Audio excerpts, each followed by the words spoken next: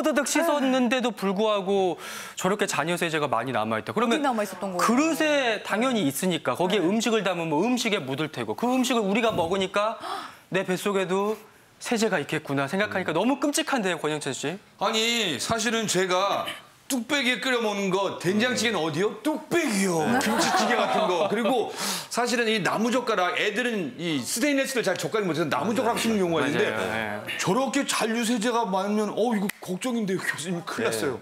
사실 뚝배기 음식 많이 좋아하시지 않습니까? 그게 열 전도도가 낮아가지고 끓는데 좀 오래 걸리는데 사실은 이 끓고 나면 열이 계속 오랫동안 보존이 돼서 그냥 맛있게 먹을 수가 있습니다. 네. 그래서 우리 한국인들이 많이 애용하는 그런 용기인데요. 이 뚝배기 만드는 과정에 우리가 집중을 해야 됩니다.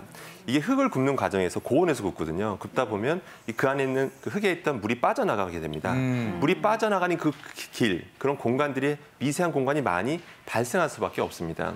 그래서 우리가 겉으로 이 뚝배기를 가정하게 되면 겉은 굉장히 매끈해요. 매끈하지만 실제 구멍이 1에서 100 마이크로미터. 1에서 100 마이크로 굉장히 작은 구멍이다 보니까 눈으로는 보이지도 않습니다. 그러니까 우리가 매끈하다 생각하지만 실제 구멍이 굉장히 많아요.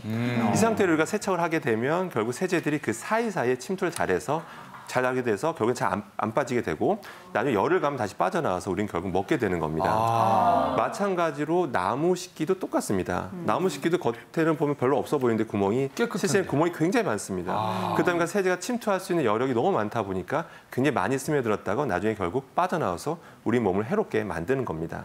어, 아까 전에 그 뚝배기 가열하니까 나오는 흰 거품 보셨죠? 그러니까요. 네. 이게 우리가 이렇게 실험을 해봤으니까 망정이지 평소에는 거기다 그냥 찌개 넣고 바글바글바글 한 소끔 끓여가지고 그냥 이렇게 떠먹잖아요. 그럼 그 세제랑 뭐 찌개랑 같이 먹는다는 건데 뭐 일년으로 따지면 세제를 꽤 많이 섭취할 그래 것 같은 말이에요. 굉장히 네. 찝찝한 생각이 듭니다, 교수님. 그렇죠. 사실 근데 개인적인 차이는 클 겁니다. 정말 여러 번 잘 헹구는 분도 있고 세제를 많이 쓰고 덜 헹구는 분이 있죠. 그래서 개인 차이는 있겠지만 어, 한 연구에 따르면은 일년에 이런 경로로 먹게 되는 세제 양이 소주 한두 잔 정도가 된다는 연구도 있거든요. 소주 한두 잔. 그러니까 사실 어, 이렇게 먹게 되면은 어, 물론 본인은 느끼는 어떤 문제가 없겠지만 당연히 문제가 될 수가 있겠죠. 그렇죠. 예. 아. 아니 저희가 정말 조금씩 먹는 거는 눈에 안 차잖아요. 근데 가랑비에 어쩌는다고 아까 교수님이 말한 걸 제가 준비해봤는데 이걸 우리가 일년에 먹는다고 치고요. 그리고 이게 일년이 제가 오늘 저희 방송하기 위해인데 이게 한 5년, 10년 되면 한 이 정도 양이면은 이거 우리 몸에 조금 무리가 있지 않을까라는 생각이 드는데요. 예, 그렇습니다. 사실 근데 문제는 아주 조금씩 먹게 되고 뭐 계속 먹잖아요. 그러니까 사실 어, 이게 건강에 어떤 영향을 미치는지를 자세하게 연구된 게 거의 없어요.